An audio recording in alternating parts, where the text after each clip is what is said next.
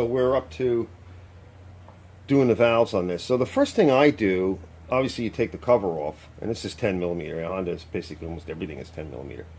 I take the cover off, and before you get started, wipe the cover off.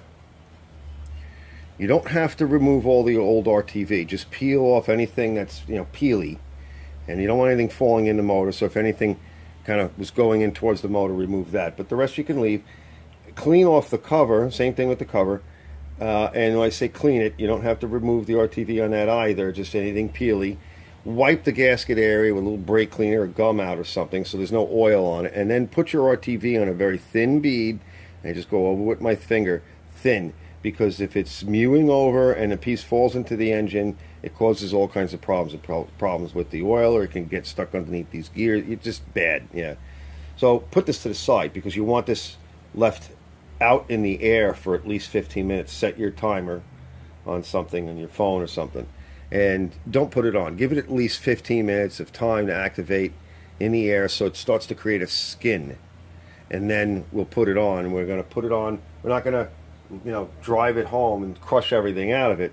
But we want to be mindful of when we tighten it that we're putting it on and we're not going to destroy the gasket surface. And you won't have any problems. So then you can go and play around in here and adjust it and check it. So I've already brought it up to TDC and so there's a couple of ways. Since we have the cover off, we can look at the flywheel magnets down here, and I can see they're up at the top.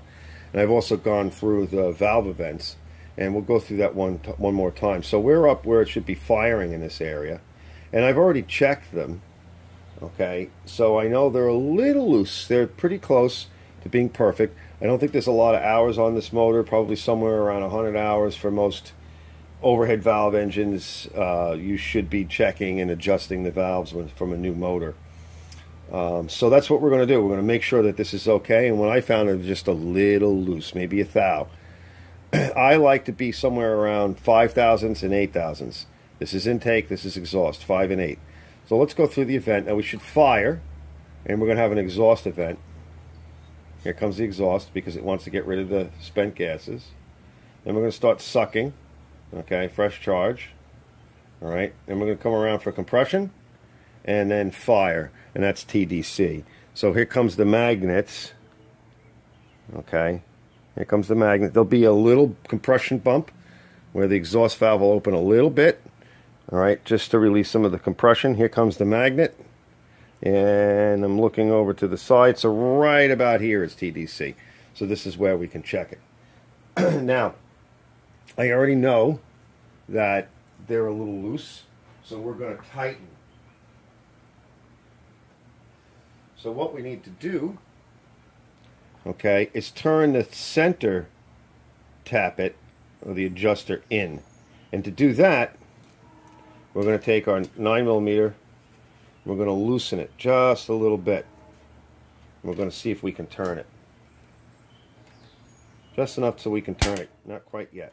This happens to be something where you could, it's got flats on it. So we're going to turn it, and then we're going to snug it up again. And then we're going to check it. There's an 8 thousandths. Okay, could use a little more. Now when you tighten up on the adjusting nut, you're actually going to pull that center stud up, creating more clearance. So you tend to have to go a little bit more. We'll loosen on the nut, turn the center stud, tighten the jam nut. Check it. That might be too far. No, well, actually that's very good.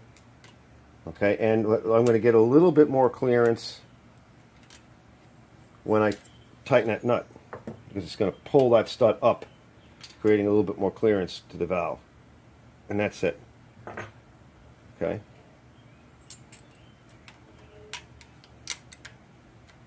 Yeah, that's beautiful. All right, now we're going to switch to 5. And it's the same thing. I already know. So we're going to do the same procedure. I'll loosen the jam nut just enough to give a good you know, turn. Now how much you turn is based upon, you know, really you got to walk it through and feel it. Uh, how much does it need to be adjusted is, you know, you have to experiment. Still needs a little bit more. like I said, it, it needed an adjustment. It hasn't been done. Snug it, check it. Oh, needs a little bit more. This one really needed a, a good adjustment. It was close, but okay, we'll go a little more.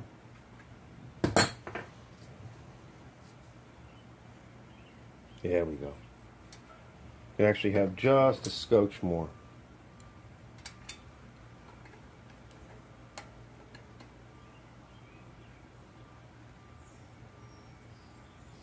That should do it. And let's get it good and tight. Make sure both of them are tight. Yep. One last check. That's beautiful. All right, we're done with that, guys. I'm going to go clean a plug. And after about 15, 20 minutes is elapsed, I'll put the cover back on. And then we can start thinking about, we'll check the oil and we'll think about putting some fuel in it and we'll get it started. We'll be back. Now here's another thing you can do if you're worried about stuff getting in the motor. Okay. What you can do, and you just got to remember, all right, you can put your cover on after about 15, 20. I like to put a little bit of uh, oil or anti-seize on these threads. These type of threads, they're cutting threads. So they're used to kind of cut their way in originally. But once they're in, right, you don't want to damage the threads. So just put a, a dab of oil, or in this case here, we're using a little anti-seize. Make sure they go in straight, because like I said, they'll cut their way in and then they'll ruin the threads that are already there. And just snug it. And we'll come back. You could heat the motor up. You could do a quick test. Or if enough time goes by before you start the motor, then you can snug them a little tighter. All right, but the, key factor is is don't don't over tighten it. And I'm going to start off with so that I don't cause a problem. All right, we're going to use this nut driver adapter to get them started. And that's why I like to use the hand tools, especially in the quarter inch drive, for a lot of things on these little motors. These are small engines, it's not auto mechanics. It's not rocket science. So we're going to use this to snug it so that I know. There we go. Right, and that'll still allow it, because we don't want to compress the gasket goop out of the way yet. Now, the very least, you won't get junk in the motor or drop something in there while you're finishing up. And it'll allow it a chance to do its thing without you destroying it. Okay, we're ready for some kind of a test. So it's on. There's a choke which you pull out. Know, primer or anything. You got to get the fuel pump to do its thing. And I may have to put it on the ground because I really can't pull it like this. But uh, I don't know. We'll just give it a couple of quick pulls and see, see if it, see if it do anything.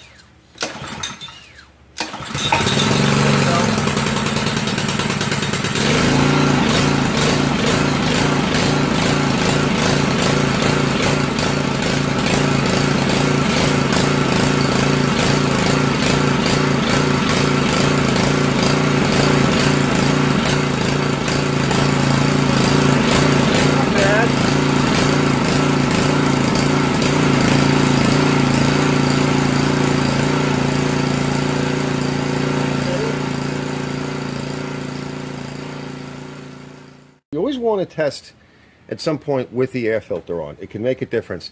I also want to mention too that um, these don't really run without some kind of a load. This is trying to run at full throttle most of the time. There's no idle down. There's really no idle per se.